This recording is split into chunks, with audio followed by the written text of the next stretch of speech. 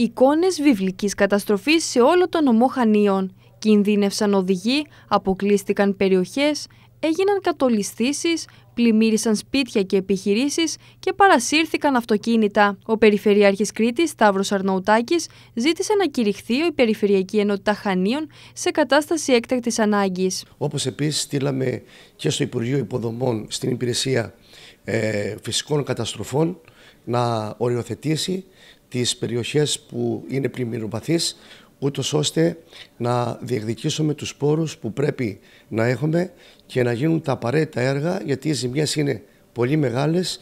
Ήταν από τα πιο δύσκολα που έχουμε περάσει η τελευταία χρόνια στον όρο. Το επέτεινε αυτό το ότι είχαμε συνεχείς βροχοπτώσεις 60 συνεχόμενες μέρες. Εκατοντάδες ήταν οι κλήσεις τις οποίες δέχτηκε η πυροσβεστική υπηρεσία σε Χανιά και Ρέθυμνο.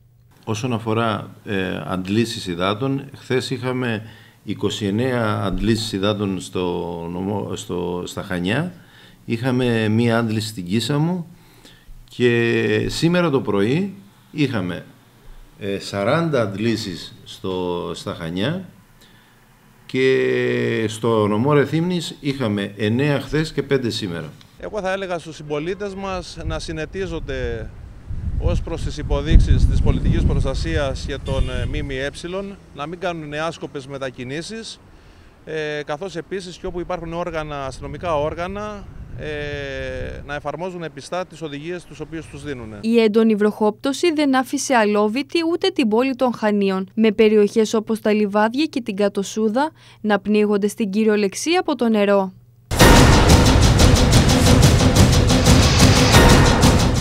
Έτυχε να είμαι ε, όρθιος, ξαφνικά πήγα να βάλω δύο ξύλα στη σόμπα και βλέπω το νερό και έρχεται και ακούω ένα, ένα, ένα θόρυβο που, που ερχόταν και, και βλέπω τη λάσπη, το ποτάμι της λάσπης και ερχότανε.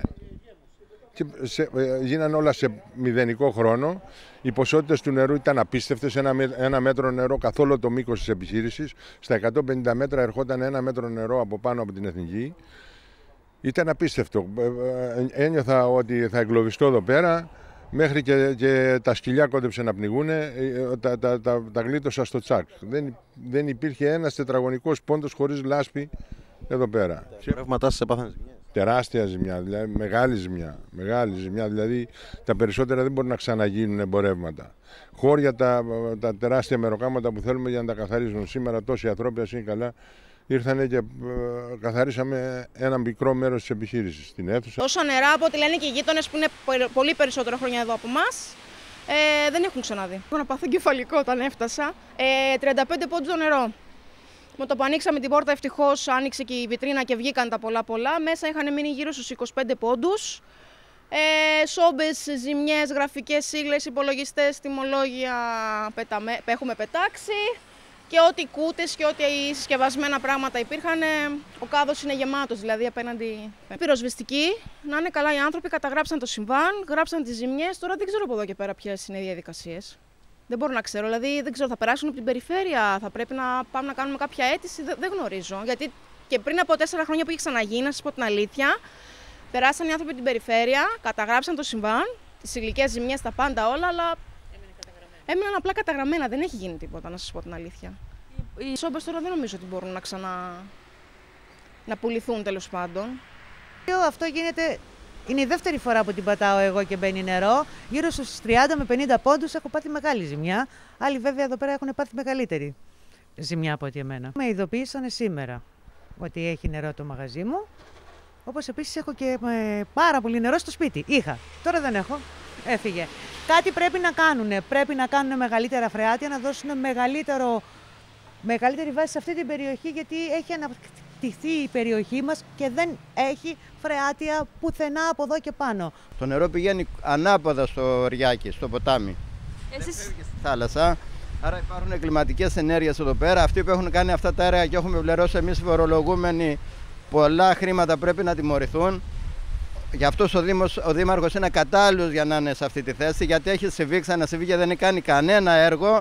Αντίθετα, μασιάζει πεζοδρόμια. Νομίζω ότι θα έπρεπε να γίνει μια σοβαρή μελέτη για αυτή την περιοχή, έτσι ώστε όταν θα βρέχει, γιατί αυτή δεν ήταν πλημμύρα, είναι μια φυσιολογική βροχή. Κάθε φορά που κάνει μια φυσιολογική βροχή, πλημμυρίζουμε εδώ. Να γίνουν έργα Οδηγοί αυτοκινήτων εγκλωβίστηκαν στα ορμητικά νερά με αποτέλεσμα οι πυροσβέστες να τρέχουν και να μην φτάνουν προκειμένου να τους απεγκλωβίσουν.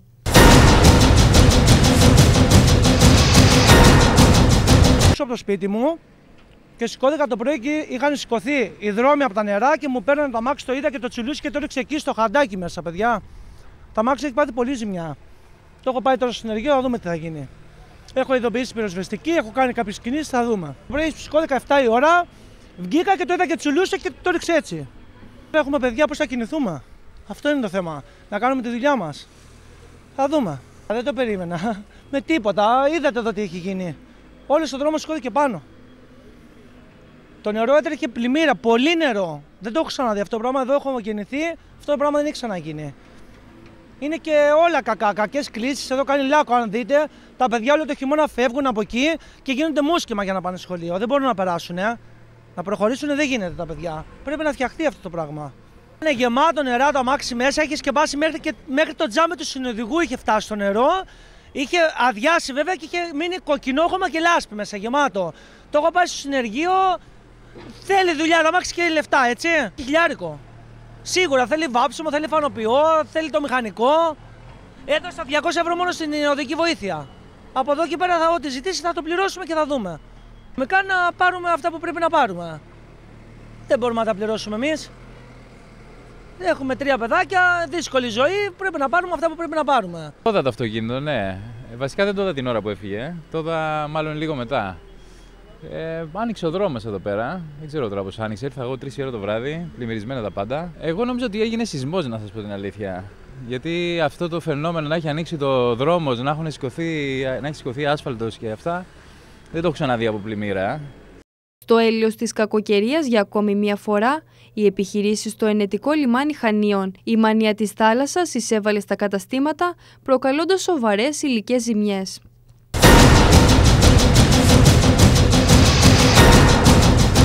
Εξαιτίας των έντονων καιρικών φαινομένων που επικρατούν και στο ενετικό λιμάνι των Χανίων, ένα πλωτό σκάφος ημιβυθίστηκε.